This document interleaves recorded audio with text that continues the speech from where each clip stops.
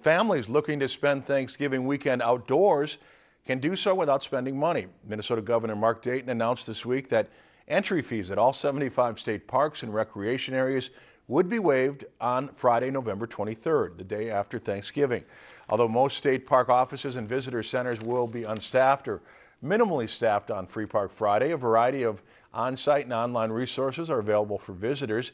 Dayton says the idea behind Free Park Friday is to encourage all Minnesotans to enjoy the outdoors with family and, eh, family and friends on the day after Thanksgiving.